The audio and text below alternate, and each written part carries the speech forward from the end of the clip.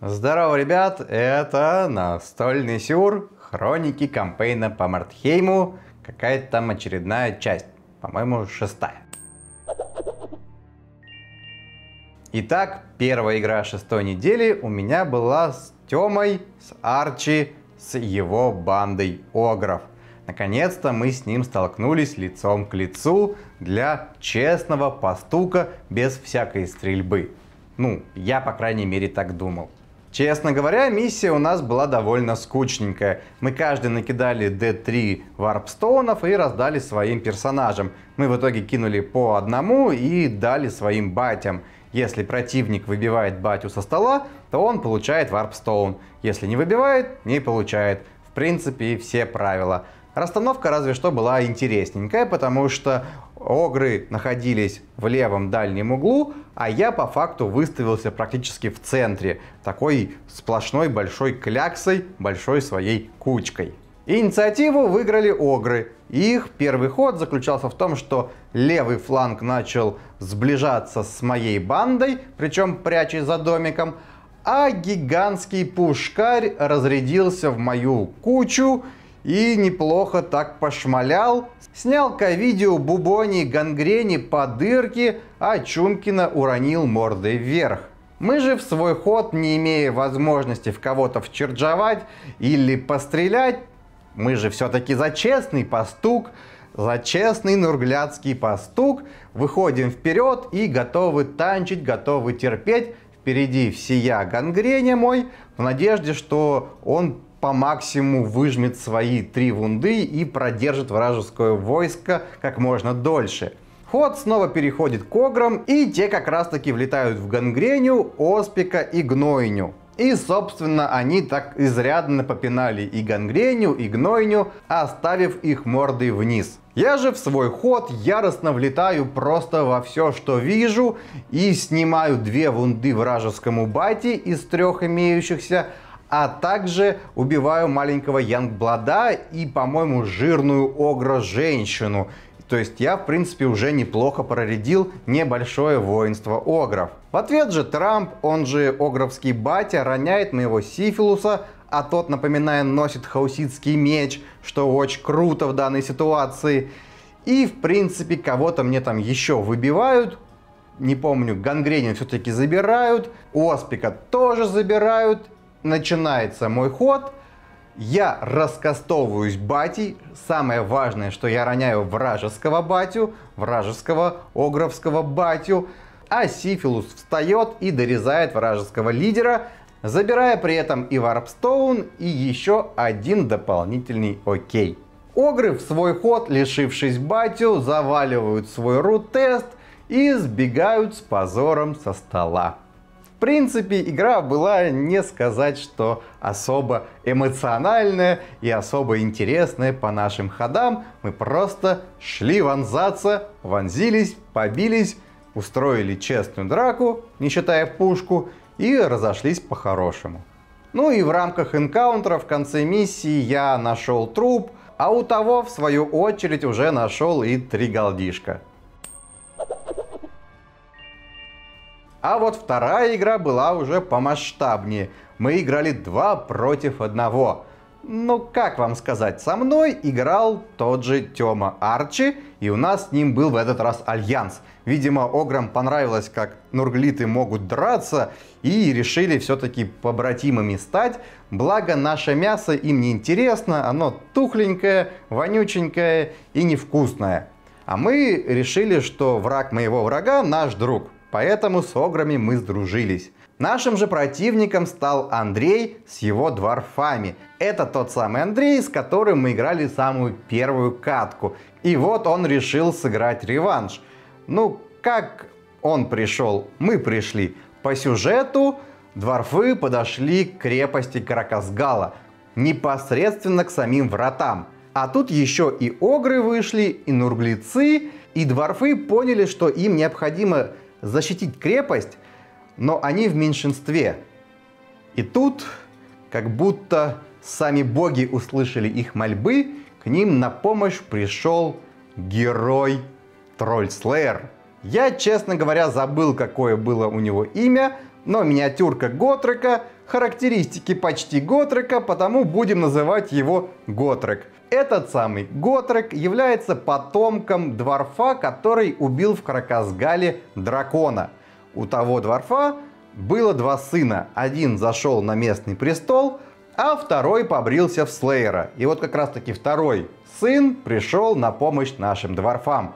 Андрей, в принципе, был не в меньшинстве, потому что характеристики этого Готрика сопоставимы с целой армией. У него пятый мув, восьмой ВС, второй БС, сила шестая, а с двуручом восьмая, тафна шестая, вунд 5, инициатива третья, атаки 4, лидак 10.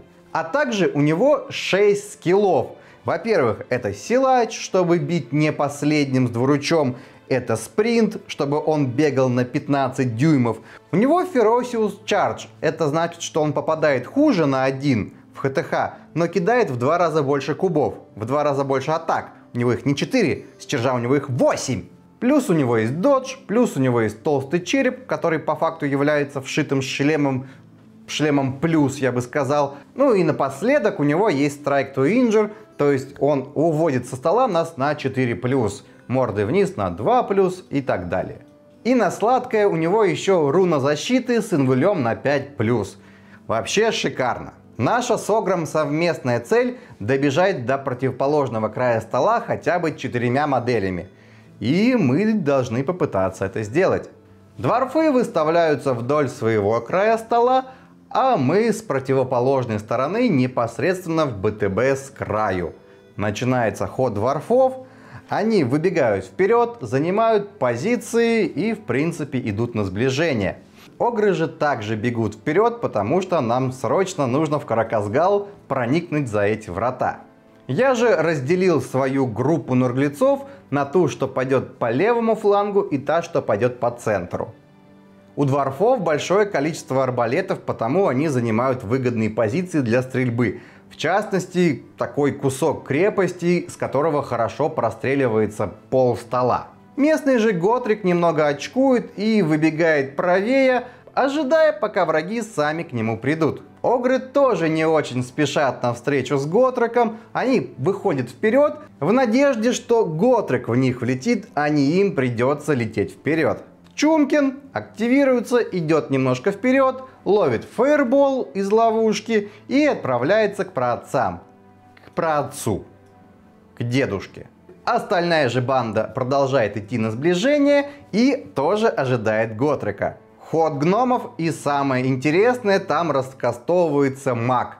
Он кидает магические стрелы. Сколько выстрелов? 8. По-моему, все магические выстрелы всегда идут на 8, сколько я не играл. И этот град стрел просто влетает в жирную бабу Огреху, и та падает мордой вниз. И жопой кверху. Гнойня тоже ловит болт и теряет первое хп. Огры начинают потихоньку уходить на левый фланг и триггерят ловушку, из-за чего молния проходит и по ним, и по моему сепсису несчастному. В мой же ход сепсис встает, снова триггерит ту же самую ловушку, получает землетрясение под ноги и снова падает. Но не повезло пацану, бывает.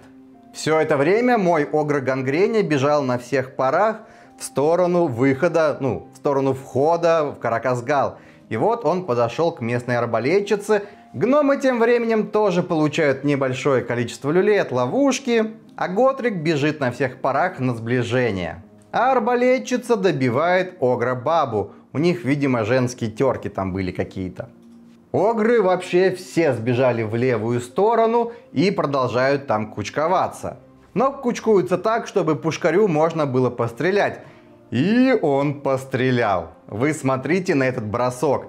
Это 6 на попасть, 6 на пробить. Это крит. Какой крит? Это тоже 6. Это 2 урона, а не 1. Это 2 куба. Это 6, 5 несчастная рыжая Соня Дворфов уходит со стола.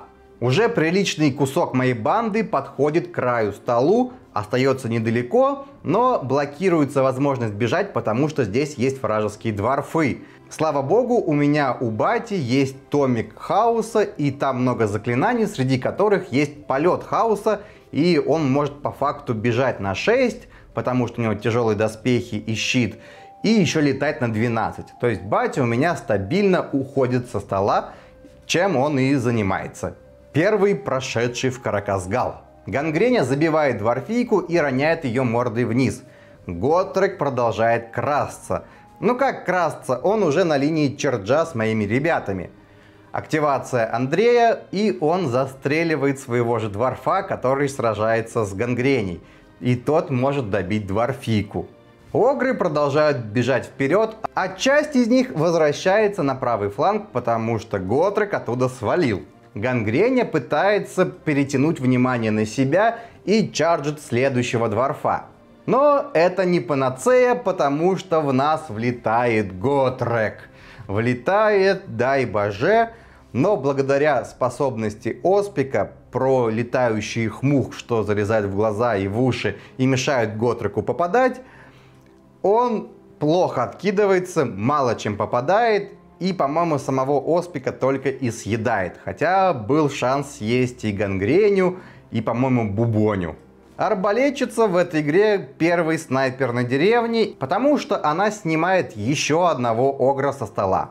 Огры наконец-то добежали до дворфов и начинают с ними стукаться недалеко от края стола. Если они их достукают, то смогут в принципе убежать. У них скорость-то большая. Но тут происходит печальное, и Готрик забивает гангреню. Огры же в свой ход заваливают рут-тест, и я остаюсь один на один с этими маленькими недоросликами. Ну а дальше несколько активаций Готрика, и он убивает сначала Бубоню, потом Сифилуса, потом Гнойню и в конце концов Ковидия. Финита ля комедия, Нурглицы не прошли. Дворфы стронг. Дворфы смогли защитить вход в Караказгал. Андрюха, поздравляю. Да, единственное, что Сифилус и Гнойня сняли по одной вунде Готреку, за что нашли, по-моему, три Варпстоуна, а также кинули 6-6, то есть дополнительный опыт на фазе, что с ними стало после аутофэкшена. Возможно, это как-то связано. Но, кстати, у меня появилась довольно неприятная проблема. У Ковидия теперь проклятие, которое говорит, что если он кинул перед игрой единичку, он косплеит Эрика Картмана и говорит, не, пацаны, я домой. С точки зрения прокачки, появления новых скиллов и новых предметов – у меня, в принципе, ничего нового интересного не появилось, разве что у Эпидемикуса появился скилл, который позволяет реролить ему один из кубов на заклинание. И это, кстати, клево. А так, я обновил траву, чтобы хиляться, я обновил яд, чтобы наносить больше повреждений. И у меня снова свалил гангреня, и в четвертый раз я его уже не буду брать, слишком дорого, качается он медленно, хотя хороший фаер-магнит, но пусть мои ковиди из гнойней терпят. Хотя там уже и сифилус бубоний тоже вполне себе держат удар, если даже не лучше. И вот на такой не очень победной ноте заканчивается второй этап нашего кампейна, и мы уходим в подземелье Караказгала, и теперь мы будем сражаться внутри горы, внутри тесных помещений, внутри крепости. И, возможно, наконец-то найдем шкатулку Бубони. Не зря же мы сюда ковыляли. Правда, мой третий этап кампейна немного омрачается тем, что в данный момент я нахожусь на Байкале. Из-за этого я пропускаю три игры, потому что одну я успел сыграть до отъезда. И надеюсь, после возвращения я смогу нагнать не по проксиботит кто-нибудь. Возможно, я наконец-то сыграю со Славой. Будем надеяться, что к финалу я приду со всеми. Вот так вот получилось. А на сегодня все. Спасибо за внимание. Не болейте, не скучайте. Болейте за мою банду, болейте за другие банды в кампейне. Ждите следующих выпусков, лайки, репосты, патреоны, там всякие. Вот это вот все, сами прекрасно знаете. Кровавых боев и сладких снов. Играйте сами, играйте с нами. Пока-пока.